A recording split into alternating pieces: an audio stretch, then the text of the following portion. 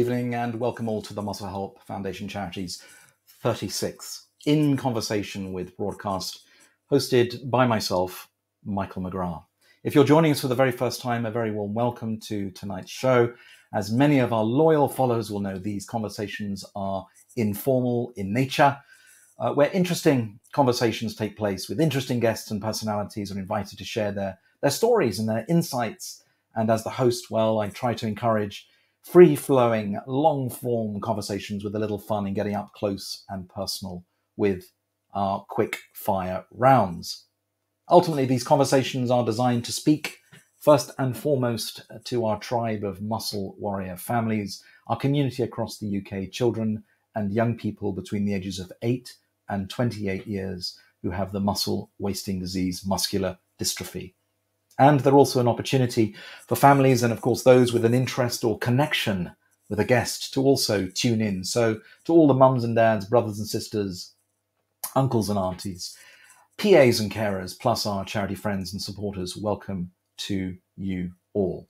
It's my hope that these conversations uh, enlighten and uplift, but also attract new audiences and by default, desperately needed support for the charity's vital work during these still difficult times. Before we welcome tonight's guest, a few quick housekeeping points. Firstly, a safeguarding note. As always, we have eyes over tonight's show, streaming live on the charity's Facebook, YouTube, and LinkedIn channels. So if any inappropriate comments are observed, action will be taken. And secondly, all in conversation with shows are recorded, meaning that audiences in this country or indeed anywhere across the globe can watch past episodes whenever they want to. So, after tonight's show, that'll be 36 episodes to watch. So head over to the charity's YouTube channel, search for Dreammaker657. Don't forget the double M in the middle, and hit the subscribe button. And for those that don't know, there will be a third series kicking off in March 2022 with 12 shows across the year. That's one a month.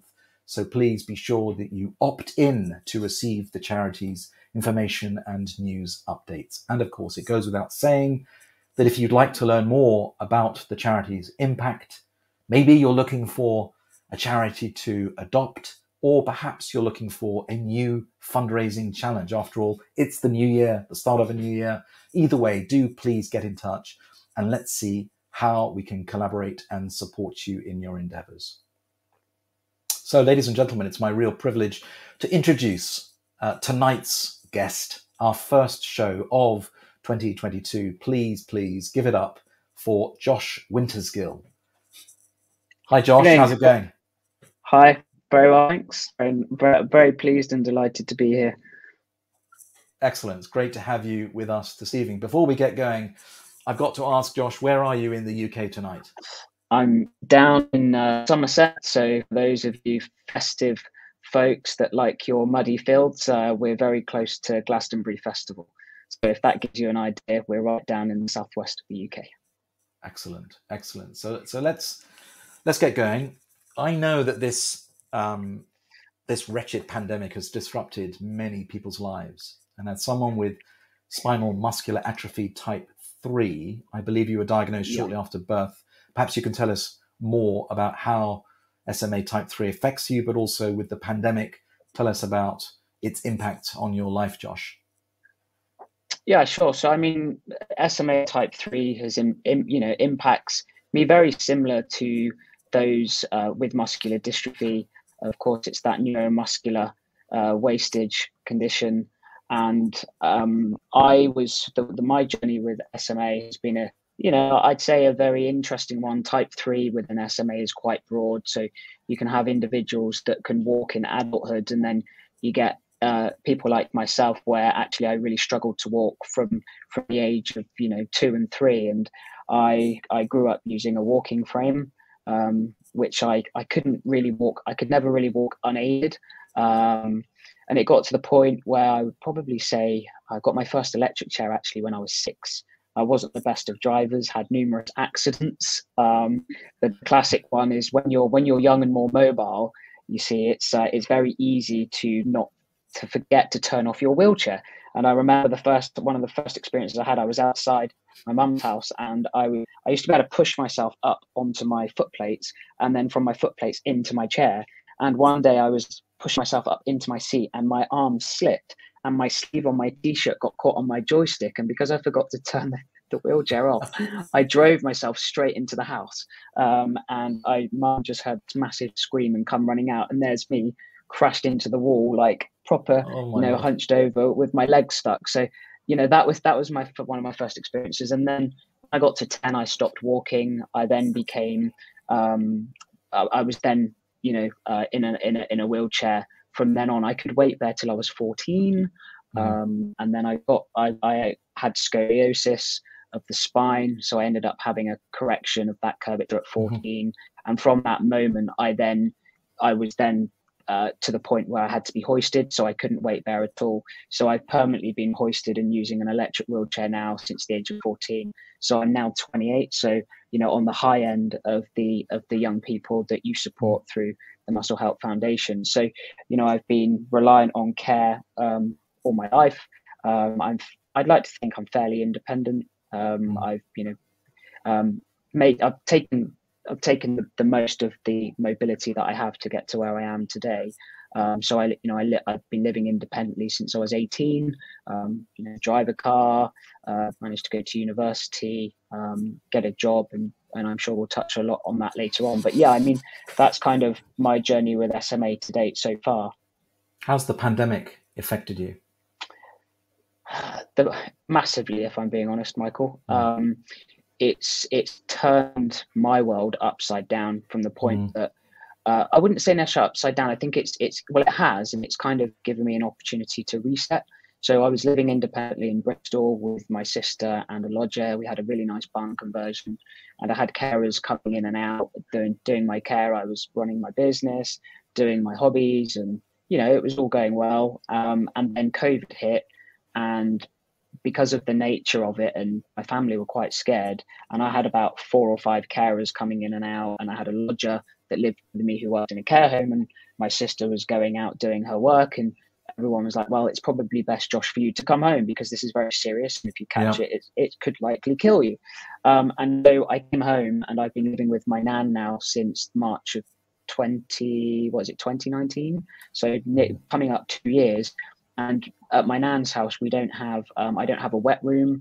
I don't have access to a toilet. So I've been having bed baths for the last two years. I've been having to go into a commode and I've had to kind of scale everything back um, into kind of, uh, you know, living back home with family. And it's quite a strange adjustment when you work so mm. hard to be independent and go through mm. the motions of leaving home, going to uni, doing all of that stuff. And then all of a sudden being kicked back to home through no fault of your own. And actually, it's um yeah, it's been it's been tough to adjust, but I've been very lucky. I've got a very good family. Man's very good and looked after me very well. So I was very fortunate um, to be where I am um, because I know there's many people out there that don't necessarily have the support around them, and mm. I can only um, I can I can only consider myself very grateful um, to have that support over the last two years. Can you see in 2022 a pathway towards that, towards another readjustment back to your sort of old, your old ways of doing things? I, do you know? I think it's actually I'm going to go into new ways of doing things, Michael. I okay. think um, I, I I I've put up with a lot in terms of compromises, and I yeah. think I'm now 28, and I don't want to be having to fight and justify for things all the time. And it's getting yeah. to a point now where I kind of want to be a bit more settled. I was yeah. I was spent a lot of time in the private rented sector, and actually, what I've learned with neuromuscular condition that is deteriorating, that in order to um, in order to make the most of what you've got, you need to have a solid foundation day to day to enable you to not worry about all of the things that you need to fight for in life. You kind of want a house in place, you want consistency, you want it to be easy, uh, without all of this other stuff that you have to fight for all the time. And I've got mm. to a point now where I'm kind of getting, I'm kind of done with that now, and it's time yeah. to kind of settle down. So I think I'm going to be more stern with what I want and be more driven to go out there and and kind of settle. Yeah. Just on the subject of SMA, um, mm. you know, for the for the 65 or so babies born with SMA in England each year, most I believe don't live mm. past the age of two. I know there are some new drug interventions like Zolgensma and also a drug called uh, Spinraza that targets the underlying cause of SMA. So there's kind of real hope, mm. isn't there, um, for the future? Oh, but I mean, it's it's unbelievable uh, in terms of how treatment has come on. I, I remember when I was younger, um, I never, I never expected treatment. So when I was younger, my mindset was, Josh, you've got to carry on with what you've got. You can't change it. You've got to work hard. You've got to do your exercises. You've got to look after yourself because you you can't just sit there and hope that one day it's all going to be you know um, it's going to be there um, and it, you know everything's going to be perfect the reality mm. is that back then it wasn't um, mm. and it's really hard i think depending on the individual and the mindset being able to get around knowing that back then treatment wasn't available mm. Um, I would I would imagine was quite hard for people but now we're seeing so much more development in that medical space and there's a lot going on in the in the md space as well isn't there with treatment and i think they're getting very close now and with Zolgensma, it's fantastic because we are actually seeing real efficacy of the drug. Um, you know, we've just seen recently that the the the government or the NHS have now approved um, for babies mm-hmm. to have Zolgensma, which is a once a one-time um, injection, I believe, um, that pretty much eradicates SMA. Um, and I think they're seeing very good progress in the UK of that at the moment. And then you've got Spinraza, um, which is a, a, um, a lumbar puncture effectively yep. or, of that kind into the spinal cord. But that comes with inherent risks. Um, and there's a lot of um, criteria around it that mm. allows people to get access to it. Mm. Um, and so there's been a third drug uh, called Risdiplam, which has just been approved. Um, it was originally only available for type 1 and type 2 individuals mm. with SMA, and they've just recently um, allowed access to the treatment for people with SMA type 3. Um, and so a lot of people with SMA type 3 are now enrolling onto the program to have access to Risdiplam and see how their treatment goes. Um, and I was only having a conversation with about it today.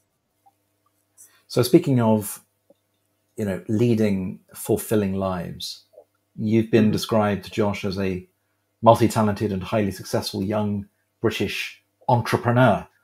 Um, okay. And in 2018, as I discovered, you won the UK Stelios Awards for Disabled Entrepreneurs for a startup called Easy Travel Seat. Um, so, correct. Tell us more. Oh God. Okay. So, I mean, for people watching, um, you'll probably be very familiar with the Orange and the EasyJet um, and and the airline industry, and I I think a lot of people watching will really relate, especially if your children are kind of in powered chairs where they're not as mobile, that actually air travel is extremely challenging. And I think you've had a guest on here um, not so long ago, Mr. Christopher Wood with Flying Disabled, um, trying to you know get us folk to be able to just roll onto an aircraft in our chairs and go and explore the world uh, like everybody else um, without having all of the difficulties that are associated with air travel. And a couple of years ago, I got very, very frustrated um, with the experience of getting from my wheelchair onto the aircraft and the inconsistencies of the way in which special assistance is delivered around the world. And I thought, well, rather than relying on airports to deliver the same standards and the same uh, equipment to enable me to get from my chair to the aircraft, I thought, why not just create something that I can have that I can take with me on an aircraft and and and use it wherever I am in the world to get in and out of my chair, mm. but do it in a way that's different to the way conventional slings work. So I, I thought, well, let's take the concept of a seat and let's take the concept of a sling um, and combine the two and ensure that when we are being lifted from our wheelchair onto the aisle chair and then into the aircraft, at all times you're maintaining pressure relief. Um, it's it's a real when you're sat in a fantastically comfy, perfect chair that's designed for you, sitting in a tiny little seat that's got no cushioning or no support is extremely uncomfortable. It's extremely undignified.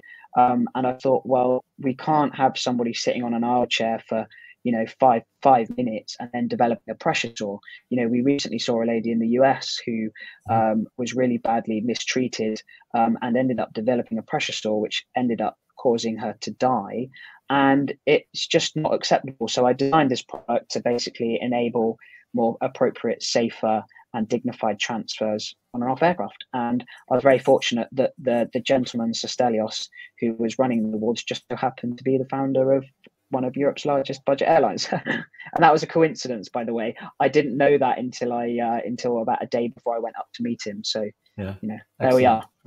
Very good. So look, we both have something in common. So we've experienced the joys of the Jubilee Sailing Trust. Um, uh-huh, so, so come on, how, how did your easy travel seat perform in the Caribbean? Was it Antigua you were at? Was it last year or the year before, or when when did you uh, go? Uh, it was it was it was February of 2019. Uh, right. So we went with the Jubilee Sailing Trust. We went out on um, Tenacious uh, because yes. I think they Lord Nelson was retired, wasn't it? So we yeah. went out on Tenacious, and do you know what, Michael? I had no idea what I was letting myself in for. right? You know, if if if you take a uh, you know a typical individual with MD or SMA, you know that re- requires hoist transfers, profiling beds, the lot if, if somebody was to tell me what I was going to go through on that trip, I would never have gone. I would never have gone in a million years, right?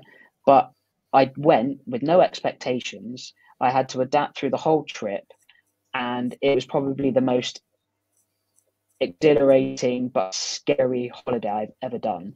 Um, I nearly fell out of my wheelchair twice. I was in a manual wheelchair, so I the thought of not being in an electric chair for ten days was quite over. Like seven days actually, it was quite overwhelming. Yeah. And we had a tiny little hoist on a single bracket with swells swinging with hoist and a little bunk bed. Uh, we had a portable chair. I mean, it was just unbelievable. um, but I tell you what, my hat my hat off to the crew. I mean, they were yeah. amazing. Um, you know, such a wonderful charity, wonderful people um, and they really made it an experience. And I remember with the Easy Travel Seat, uh, I actually used it to be winched up to one of the masts. Um, yes. And there's a really good video of me somewhere on YouTube where you can see me being hoisted in my own product Excellent. up to the top of the mast overlooking the Caribbean Sea. And I tell you, it was that kind of an, it was like an, that was an epiphany moment where you think, you know, you feel on top of the world, right? Because you've, you've created something that's enabled you to get up to the top of a mast in the Caribbean. It was just, yeah, it was an amazing holiday. I'm thinking Forrest Gump here, but we'll talk about that later. Listen, there's a there's a scene in that particular film where he's up the top of the mast. But anyway, I had That's a great right. experience on, on board Lord Nelson many many years yeah. ago, and as you quite rightly say, you know that's a it's a phenomenal charity and um, supported by uh, and people working for that charity are extraordinary. For me, it was a it was a very memorable experience. So listen, you're also the founder. Mm and mm. director of a business called Able Move, a business that you also started in 2018. Um, a business that I discovered thrives on, and I love this, by the way, attitude, imagination, and fun. Um, yep. Tell us a little bit more about Able Move. Where are you at? Yeah, Able Move was the core business when we started, and Stelios saw the product and wanted us to brand with the Easy brand. Um, but it very quickly dawned on me that the brand caused us a few conflicts and actually the able move brand was going to enable us to grow without barriers in terms of how people perceive um, the easy brand and i didn't really see that at the time. And what we've done is we've grown our portfolio out so we've now created a wider range of really useful living aids for wheelchair users. And what my goal now is is to keep innovating and to create more products for the future so that um, you know we we are creating solutions by disabled people for disabled people. And often we see that that products and services are often designed by people with no necessarily real experience or are not bringing the right people in the room at the right times when bringing products to market. And it causes all sorts of problems. And i often find that with healthcare in particular or medical products they're so they're so outdated they're so in the past. And I, I agree they're there to serve a function but actually the younger generation coming through now, you know, the eight to 10 year olds and the, and the, and the teens, they're so much more aware about how they're being perceived by people out there. They want to feel confident. They don't want to be sat, sat in something that doesn't make them feel good. They don't want horrible clothes. They want easy, smart, accessible clothes. Um, they want to feel good about themselves. And I just feel that we need to bring innovation into a new world that's fit for the generation that's coming through. And what I kind of want to do now is continue innovating, bringing you know uh, wheelchair users into what we're doing and actually design products that's going to you know be really fit for, for the people that need to use them. Um, so we are we've got another three products lined up this year. I don't know if we're going to get all of them to market but we'll definitely get one or two of them i hope so these three products uh, we've got a, another pick lined up these three products over and above these Oh, wow, on okay. screen at the minute hmm Yeah, so I mean, the, you've got our you've got our slings, which are fantastic, Yeah. uh, that can be used with or without a hoist. Then we've got our own leg straps, um, which are very good at keeping your legs together if you've got no stability there. Um, and then our other really popular one is the bottom left, which is our our wheelchair cover. So when people are getting out of say the swimming pool or hydro or a jacuzzi or perhaps you might be getting out of your bathroom and rather than sitting on a shower chair that's really uncomfortable you can pop this straight over to your electric chair if you've got a ceiling track hoist through and you can get into your own chair and this cover keeps your chair completely dry. So no more having to stack towels over your wheelchair to keep it dry. Um, Mm, again mm. very simple very simple solution um, that does what it says on the tin Great stuff. I mean, keep innovating, Josh, because what you're doing is phenomenal, and you're providing solutions to people that are are are, are so so helpful. Um, but listen, you know, putting the pandemic to one side, what Yeah. single piece of advice would you perhaps give to a young person today living with a disability, perhaps thinking about starting up their own business?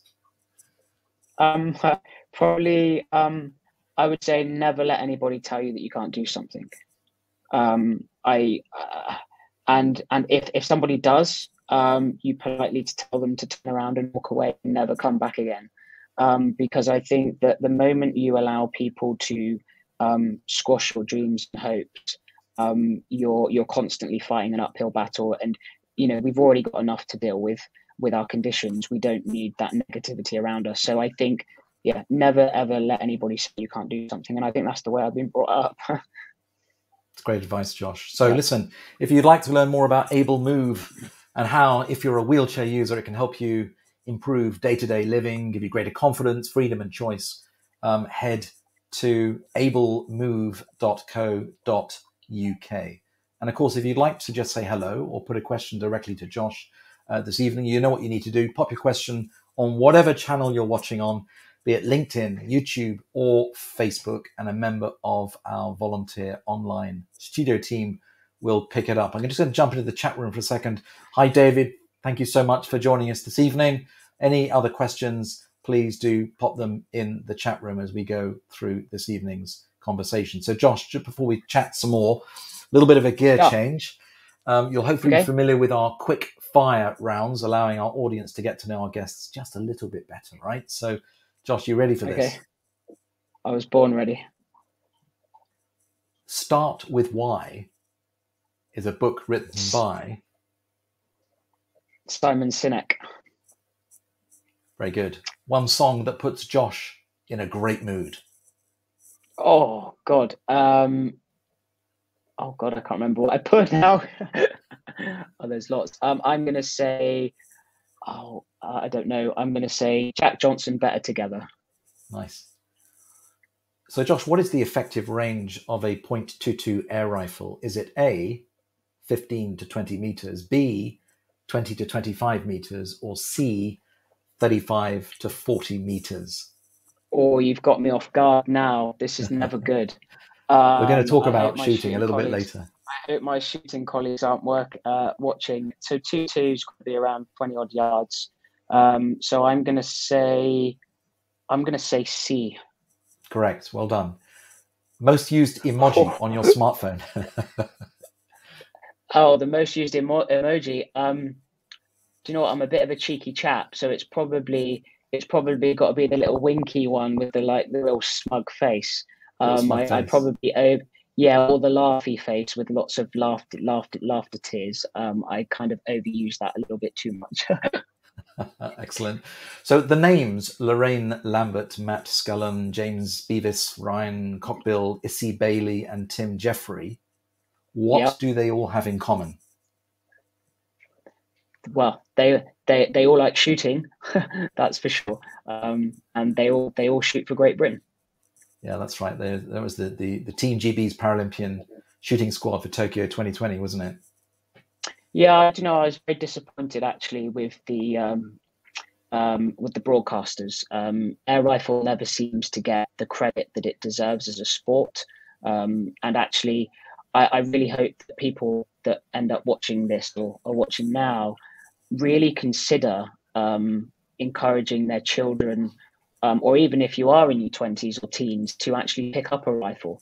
Um, in Tokyo, we actually saw a, a young Swedish chap called Philip Jonsson who actually won gold in R4 um, and he's got muscular dystrophy, and he's the first person with muscular dystrophy to win a gold medal. So, Fantastic. the fact, what I'm trying to get across is that if you've got muscular dystrophy or if you have a neuromuscular condition, whatever your condition, air rifle is probably, other than boccia, air rifle is, yeah. in my opinion, one of the most accessible sports that you can compete at at the highest level, and you can do it from your home.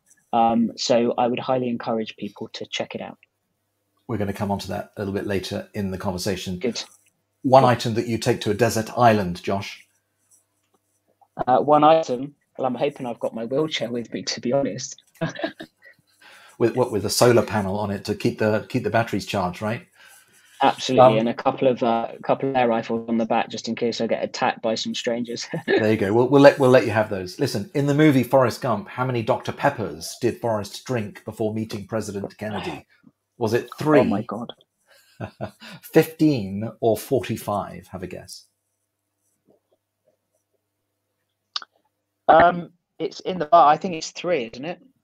15. That's okay. Is when, it 15? Yeah. When brushing your teeth, bamboo, yeah. plastic, or electric toothbrush? Uh, electric toothbrush. And Josh, finally, in this particular round, you're the PM for 24 hours. Mm. One change that you'd make today?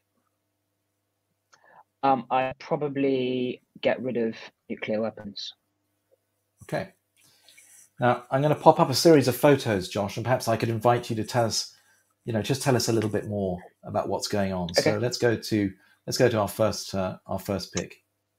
What's okay, so this here? was an this was an honorary master's degree that I was awarded by the University of West of England uh, for my contribution to um, the wider public and people with disabilities, and it was a, an, an honorary master's in technology. Fantastic. And we're going to pop, pop up another pick. Mm-hmm. Okay, so this was at Lucknam Park. Uh, it's a it's a resort, and I was there with my partner at the time, uh, and we had we are having afternoon tea.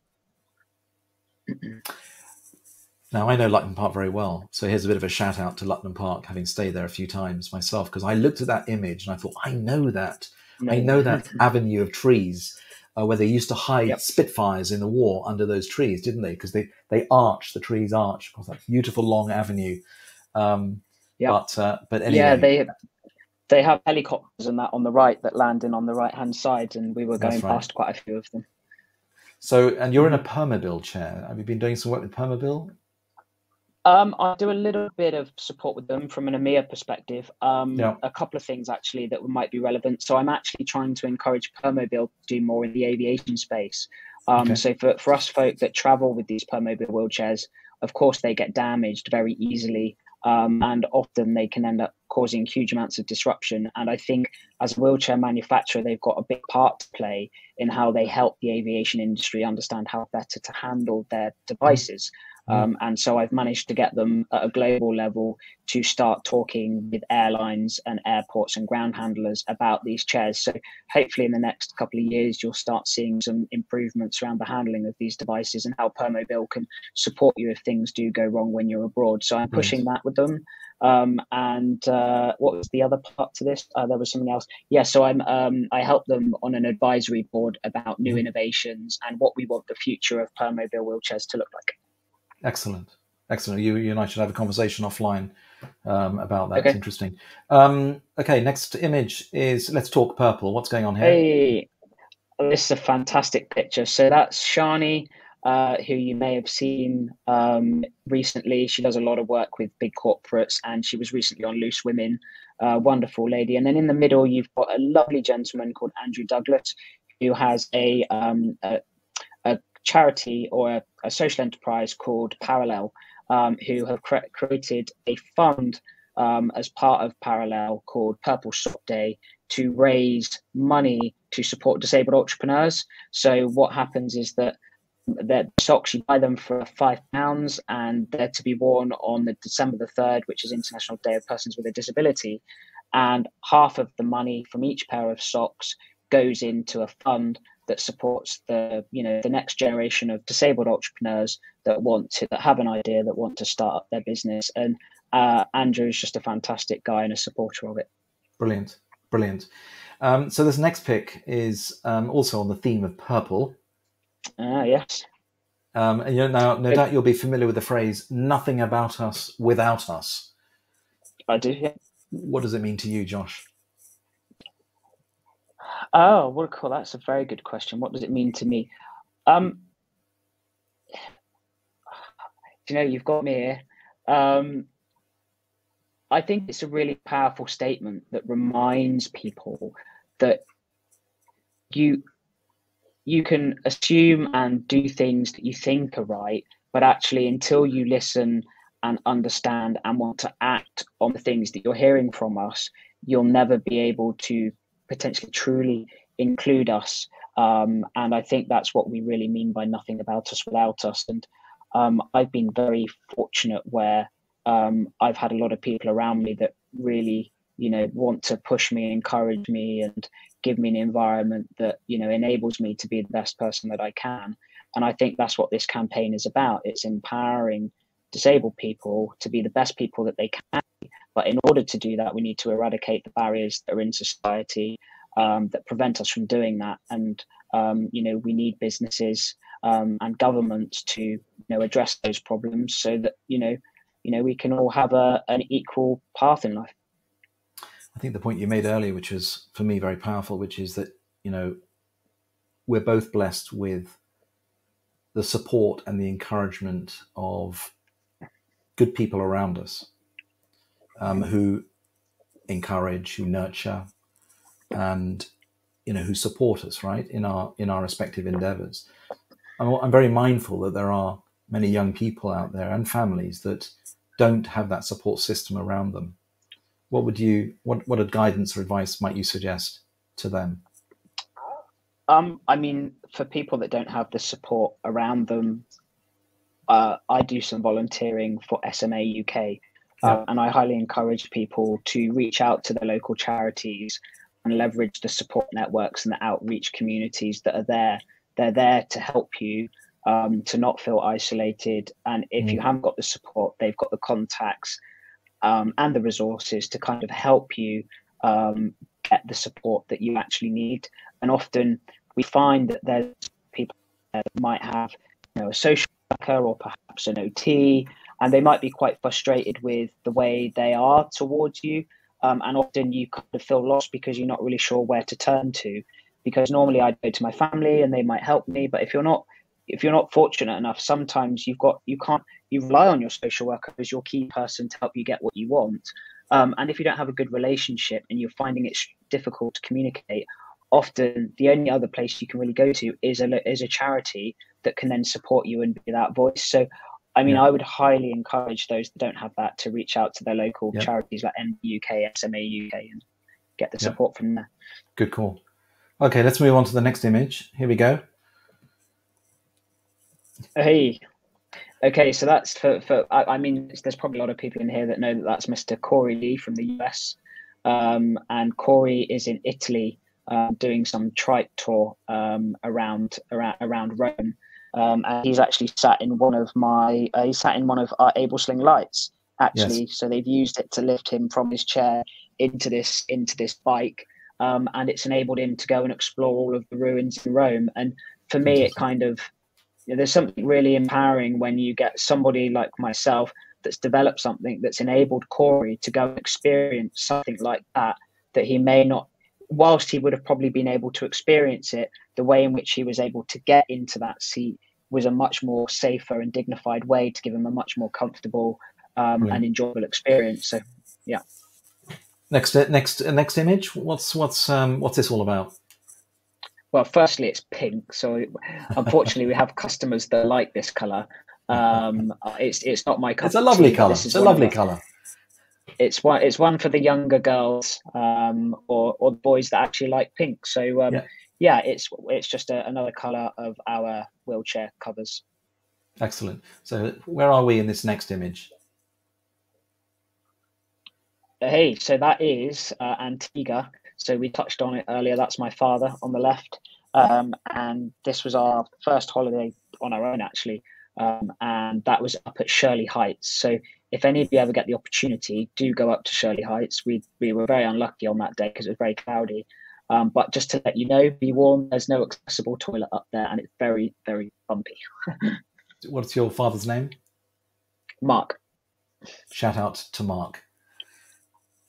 And we've got another pick here, which was the last in our series of picks. And what's going on here, ah. Josh? Okay, so this was um, uh, uh, now I need to refresh my memory, but this was a, a thing run by MD UK where a artist had had uh, lots of photos um, and were asked uh, individuals with MD and SMA were asked to select a photo and explain what was meant by the photo or what does the photo represent to me? And uh, interestingly i the photo reminded me of me and my dad which was the photo that you've just seen out in the caribbean. And the boats represent um, me and my dad. And then you've got the kind of the sea um, and the, the, the peace and tranquility of just being out at sea uh, with my dad on on a really nice holiday. Um, and that's kind of what the photo meant to me. So I put that together nice. for MD UK. I think you can go and see it somewhere. Actually, there was a, yeah. a description that I put together. I think if you head to Reflections in Color, I think that's that was the the, the name of the, the, initiative. I think. Um, but uh, excellent, thank you for that. And the last pick, I did say we'd come and revisit this particular topic because I know yes. that it is a topic uh, close to your heart. And I gather that in your spare time, Josh, when you've got spare time, you're currently training to compete for Great Britain in air rifle shooting at the 2024 Paralympic Games in Paris. So, you know what, as an inspiring Paralympian, and what I think is the ultimate test of, of accuracy and skill, what's it going to take for you to be selected? Uh, a lot of sweat, a lot of tears, a lot of money, um, and just uh, I think actually the sport itself is it's all to do with mindset. Um, it's yeah. it's not a physical sport. Yeah. It's it's all about your mental attitude and your willingness to um, believe in yourself and to be able to focus. It's all about your internal, how you breathe, how you feel. Um, you know, I, there's something really amazing about air rifle that the moment you get behind that rifle, two things happen. You feel as though you, you've escaped um, you don't when you're behind the rifle you almost feel that you don't have a disability um, because you're able to compete against other people with or without disabilities with all different types of um, uh, abilities. And so it creates a level playing field which is mm. really unique in this particular sport. So it gives you that power um, and feeling that you don't have a disability subcon- um, subconsciously. But also what it does do is it tests your you're looking down the barrel of the rifle, the, the, the, the trick is to not let the outside thoughts of what's been going on in your life come into your mind. So if you're busy with work, relationships, family, all the things, carers, whatever you've got going on, you have to switch off.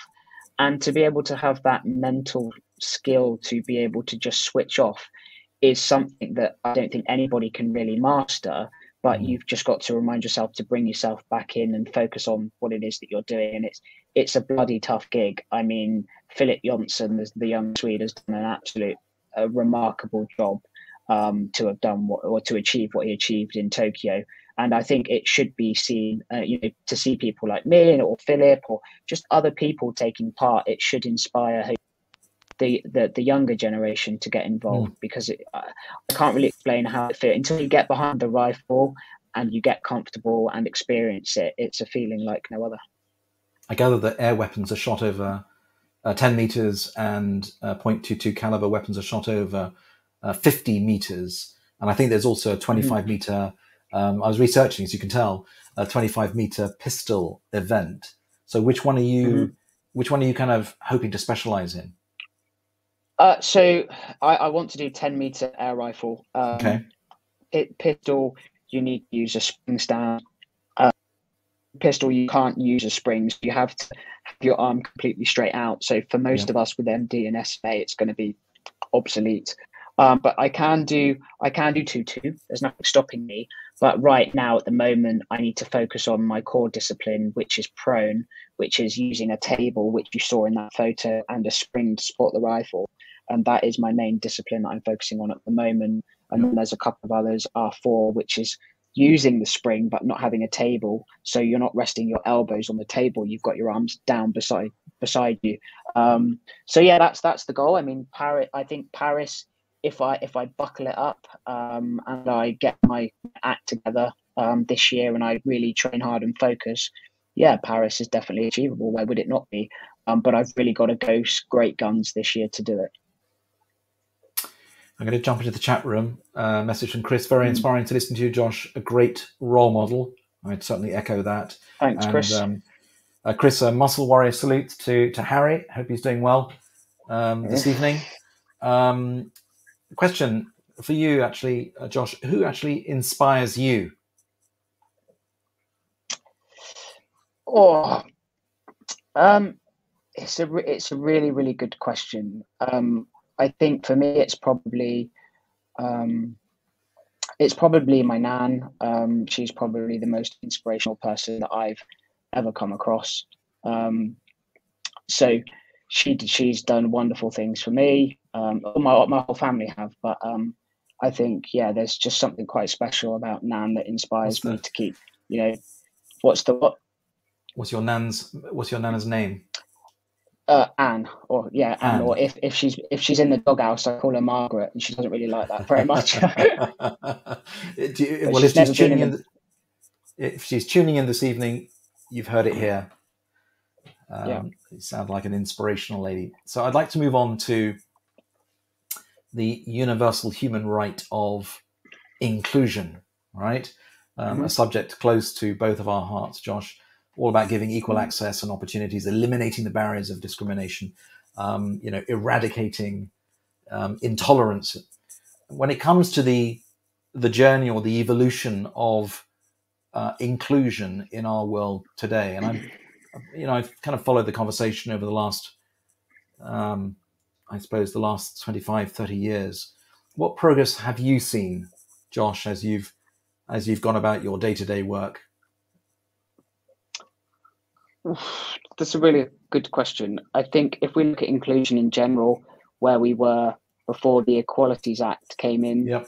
um, I think we've made huge progress um, in the grand scheme of things. I think I, whilst we still have so many systematic barriers that prevent us from doing things that we want to do without having to argue or justify or you know really push for what we want i think if we look at how fortunate we are where we can have housing, we can have carers that are paid for, um, we can have um, healthcare provided by us, where families we can get support by the NHS. I mean, generally, we are very fortunate here in the UK. Mm. Um, I think largely, um, um, but I when we look at, um, I don't know if we look at business. Uh, I mean, there's there's there's been huge challenges over the last uh, 10, 10 years that I've seen with employment, and only now are we starting to see employers becoming more confident with having people with disabilities in the workforce. And of course, that's that's driving huge change um, because it's giving people employment opportunities. And I think mm-hmm. actually, I always say to people, technology, in my opinion, technology is the real reason as to what's mm-hmm. driving all of this. You know, we we look at these big corporations like your Amazons, your Googles, your Microsofts, and they're all making such huge amounts of money with whopping great margins that they're able to invest those profits back into foundations. They're able to um, uh, they're able to give staff very good work-life balances um, because they're able to pay for it. And I think technology has really enabled those companies to change the way in which we live.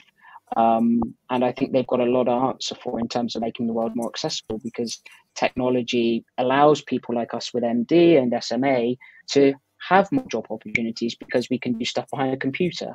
Um, we can use different devices to make things more accessible um, and take part in different activities, um, whatever that might be. So I, I think technology has a big reason to uh, a big technology is for me the biggest reason why we've seen huge amounts of improvement in inclusion um, over the last kind of 20 years, in my opinion. And I have a tech background as well. Um, so, yeah, I, I, think overall we've come a long way. We've still got a long way to go in certain areas. So, if we look at housing uh, mm. here in the UK, if we look at aviation, we've still got a long way to go. We're only really seeing the transport system really, you know, get their stuff together now mm. with um, making their trains more accessible. So, we're getting there, but I still think we've got a lot to fight for, and we've got a lot to change. Um, and I, actually, for me, I think we're only at the beginning now. Um, I think a lot of the big a lot of the big fighting has been done, but we just need to keep that momentum up um, and keep pushing for the change. And we, we just need people to stick to that. If I may, Josh, I'd like to chat about your recent appointment um, at mm. a research design and innovation consultancy that's all about making environments work better for, for all of us. So here's a shout mm-hmm. out to to Open Inclusion, which I think is the name of the organization. Am I right in saying, Josh, that you're that you're going to be the panel community lead on specifically mobility and dexterity? So, what's what's that mm-hmm. about? So I took over from a, a, fabulous man, Martin Sibley, who you will probably be very familiar with. Um, and I took over to help uh, Open Inclusion with giving insight to the, the challenges that people with uh, mobility and dexterity problems have. And that could range from anything to um, using some hand soap, to using your mobile phone, to booking a holiday, to um, uh, you know getting care. It could be to do with anything that re- disability, um, but particularly giving my insight from a, a dexterity and mobility point of view. Um, and actually, what I because they're a research company, um, they support a lot of very big organizations that want to understand how better to support their disabled customer base. And when you're in research environment, often that is normally where innovation comes from, or where they where they want to develop a new idea or have an existing product or service and change it to to, to meet a wider range of users. And actually, for me, there's something really special about being part of research and innovation. And I think from my background with developing my business and other um, ventures that I've got in my own mind, um, you know, it's just it's just a, such a special place to work. And I think what drawn me to them, um, and I think a lot of people need to take this away if they're looking for employment in the future, is that you want to be working with an organization that values you in terms of who you are, but also embraces your disability. And I think because they are a uh, you know um, a disability organization um, with lots of their a lot of their workforce is disabled um, it's just a very nice place to work yeah, um, yeah, and yeah. very understanding and i think it just makes it makes it so much more enjoyable. Good stuff. Listen i'm going to jump into the chat room. David uh, i'm just going to pick, okay. pace up a little bit here josh. Um, david said uh, what technological development um, would you want us to work on next? So a brief answer if i may josh on this one. Um, I would probably be looking at something to do with um, travel, um, anything technology development that you can do within the travel sector. Um, I think would be huge. Um, uh, there's something I'm I've got my my eyes on at the moment, and I have been for a while. Um, but I just think there's so much space in the travel and mm. tourism industry that could really utilize technology more. So I think that's where I would be asking people to focus on. Maybe you can teleport me one day to Antigua um, that would be nice, wouldn't it? It would be very nice. Moving on, I understand that you're ambassador for Leonard yeah. Cheshire, um, and that you yep. mentioned earlier that you work as a young support volunteer for Spinal Muscular Atrophy UK. So, just briefly, yep. um, two charities I sure. know that you're connected with. Um, they do tremendous mm-hmm. work, I know, but um, a particular message that you wanted to convey to either of those? Uh, I mean, they've got a they've got a very close place to my heart. Leonard Cheshire um, and SMA. Leonard Cheshire was through the Stelios Awards, mm. um, and the team there kind of really liked what I did, and I said I'd like to offer my support back to them in terms of helping them as ambassador. Um, and they're just a, again, I think they're going through a cultural shift, and I like the direction they're going in. Uh, in terms of supporting people with disabilities to uh, become independent and become more employable. And then we've also got uh, SMA UK, um, which, of course, as you know, uh, with uh, the disab- my disability, I support them tremendously. I love giving back to the younger versions of, of, of myself. Um, I've got a one lad that's got a very close place in my heart. Um, he's a spitting image of me when I was his age, um, and I, I keep a very close eye on him. And I there's just something really nice about sharing what you've learned with others to make sure that they don't necessarily not make the same mistakes, but don't have to go through some of the challenges that I had to go through. Nice. Gear change. So it's that time again for our second quickfire round. Josh, are you ready? Okay. Yep. Good. Here we go. Best bit of advice that you give your younger self?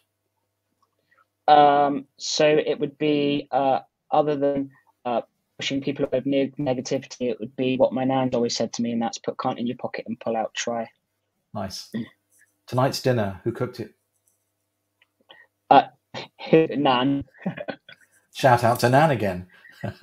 yeah. Um, so, question: When do you think we'll see a society that's totally inclusive? A, ten years. B, twenty-five years. C, fifty years. In brief. Can there be a can can there be an option for D and say I don't think we'll ever achieve true inclusion? Um, I, I, I really don't think we will ever achieve it, but I'll, I'll go for the longest possible, and I'm going to say fifty years. Josh, what's your food heaven? So oh, food gosh, you love? Uh, probably probably steak pie, chips and gravy and veg. I would probably go for. Most used tech gadget. Uh, my iPhone. First job, the first job that you dreamed of having as a kid. Uh, RAF pilot. Oh, we do need to have a conversation afterwards. Um, what percentage most what percentage most accurately represents those with disabilities on boards across the globe? Is it A 0.5%, B 2%, or C 4.5%? So I'm going to go. So originally it was 2% that jumped in my head. Um, so I'm going to go 2%. Yeah. And finally, if someone was to play Josh Wintersgill in a movie, um, who would you want it to be? Um, I would probably go for uh, Tom Hanks. That's a nice segue to our next uh, bit of this conversation. John, speaking of movies, come on then, let's talk briefly about your two favorite uh, movies. Here they are. Um, yeah, yeah. What's it? What's it about them that you particularly love? Um, so Forrest Gump for me was kind of I, I always forget that scene where he had his his leg braces on, and um, his mum says something to him. Says uh, he says, uh, "What does she say? Don't don't ever let anybody tell you um, different." Or she says something, and I think it just really resonated with me when you know I was told you know to never let anybody say you can't do something. I mean, I think that was when he was a young boy, and I was a young boy when I was told that, and I just felt there was kind of that similarity with him. Obviously, he was the opposite. He broke out of his braces and started running, and I stayed in my braces and ended up in a chair. So, you know, it's kind of a bit opposite. Um, but it, there was just something really nice about that story and the way in which it was delivered. And then the Untouchables, I think it's such a, a an interesting movie where you've got that relationship between a, a chappie who has obviously been paralyzed um, and it obviously had very wealthy chap and a carer that comes from a very kind of rough background. And I think the relationship of how they came to meet um, and it goes to show that it's all about the personality of somebody and you can you can bring them in into a care role they don't necessarily have to have all of the skills but it's how you actually get on with that person yeah. that makes that relationship yeah. so unique and i think that's something for me that is really powerful now is that it's you need to have carers that you can have fun with. Everything else can come after that because if you've got yeah. carers and people around you that make it hard work, then you can't be happy. Do you know what? I think we could probably spend another hour talking about the the uh, the interaction and the interplay between carers and and so on. Um, anyway, where's your happy place, Josh? Moving on. so my so my happy place is probably my bed. I lo- absolutely love my bed. Um, if I if I'm not behind the rifle, it's probably my bed. Um, I or being outdoors. I mean, I love being outdoors um, and sightseeing and stuff like that. So, um, yeah, I've got a few happy places. Good. Even the hydro pool being another one. Nice. Who makes Josh laugh out loud? Um, probably Boris Johnson today with his party. Um, he's been kind of getting me going a little bit. Um, but no, uh, probably Lee Evans or the late yep. Jethro, who just recently passed away, sadly. Josh, if you could invite two celebrities to your home for a pot of tea, um, who would they hmm. be? Uh, I think that would. Oh, there's three. It would probably be uh, uh, Elvis, Elvis Presley, and maybe Winston Churchill. But my third, and it's really hard, is probably Sir Alex Ferguson. Okay. I can't food decide. hell. Josh's uh, food uh, hell. Egg mayo sandwich is just horrific. Who nobody likes egg mayo sandwiches. What is that? Do you know I love a decent egg mayo sandwich, and if my favorite son-in-law is tuning in this evening, he he, he will he he really makes good egg mayo sandwiches, right? Ah. um, anyway, penultimate question, Josh. yeah. Tell us about yeah. one or two goals um, that you want to uh, achieve, um, you know, in your life over the next I don't know. So yeah, so I mean, there there is there is two. I think I of course I would I want to become an a, Paralymp- a Paralympian. That is that is my goal, um, and I, I like to think I'd achieve that. If I if I don't, then um, I definitely want to set up my own care agency at some point. But I also um, would like to set up a foundation similar to yourself at some point, much later on in my life when the time is right. Um, I, I do believe in um, you know, the, the kind of giving back and the philanthropic world. Um, and I would really very much like to be able to do that at some point in the future as well, um, and just see where it goes. But who knows? Who, we, we might get there, we might not. I look forward to one day maybe having a game of poker with you because I understand you're a bit of a. a bit of,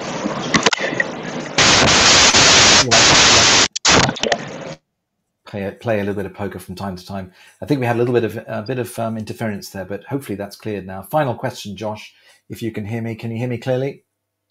I can. Can you hear me? Yep, perfect. So to close off tonight's show, uh, Joff, you, you've been a terrific guest. If there's just maybe one thing that we can all do to perhaps make the world uh, a slightly better place, what would it be? Uh, it would be to smile and be kind. I'm just going to jump back into the chat room very briefly. David's um, uh, put in a question there about how, how we should go about fighting for true inclusion. And, you know, I've got a view on that, but I'd like to hear your view briefly, Josh, just on how we can keep that that fight going. Yeah. I think I think the fight for true inclusion starts with children. Um, I think once you once you get out of childhood, as adults, we start to then form opinions and I think what we need to be doing is ingraining inclusion into children as if it's education, so that actually it becomes the norm. So we actually subconsciously are always doing inclusive things without even realizing we're doing it. And I think if we can get to that point um, where society becomes natural thinkers and doers around inclusion by educating children from the get go, I think that's probably the best place that we can start because you know the generation we have now we whilst you can always change people's mindsets um, and viewpoints, I think doing it much earlier on, you stand a much better chance. Huge thanks, Josh Wintersgill, for being our guest tonight. Here's my best muscle warrior salute from me to you, Josh. And for those that don't know, this is a, a visible symbol of hope, courage, strength, joy, and unity for all those with muscular dystrophy. And what I'd like to do is, if you've enjoyed tonight's show, please, please head on over to musclehelp.com forward slash power of 657, where you can support our 100k Power 657 fundraising appeal. And on this page, uh, you'll see how your donations will enable the Muscle Foundation charity to push on uh, in delivering hopefully many more muscle dream interventions in 2022 for children and young people, just like Bertie here with muscular dystrophy across the UK. Thank you. And Josh, as is the custom, if perhaps you you know someone who you think would make a great in conversation with guest for our new series that kicks off in March 2022, please do let me know. Of course. I mean, I could give you some. I could give you a couple of names um, already, um, and I will, well, I will endeavour to do that afterwards. That's yes, brilliant. Nice yes, one. I've already. Yeah. So here we go. Drum roll. Breaking news, as is the custom. Breaking news. We're back for another show on Wednesday, the 2nd of February, where we'll be chatting about disabled friendly holiday and specifically an innovative travel company called Limitless Travel. uh, from luxury escorted tours allowing people with disability to experience new insights and cultures in comfort from Britain to beyond. I'll be chatting with its founder and the CEO, Angus Drummond. Now, Angus is someone I've met several years ago um, over some lunch in a restaurant in Milton Keynes. And you'll have to tune in uh, in a few weeks' time to find out what exactly unfolded. And from being a 22 year old investment banker to a diagnosis of muscular dystrophy, uh, to them being told one day that he be confined uh, to a wheelchair, a devastating shock for anyone. But for Angus, who spontaneously quit his job, his story of travel and his love of travel began uh, in that moment. He and his beautiful wife set off, clocking over 35 countries that included canoeing in Vietnam and climbing to the top of Machu Picchu.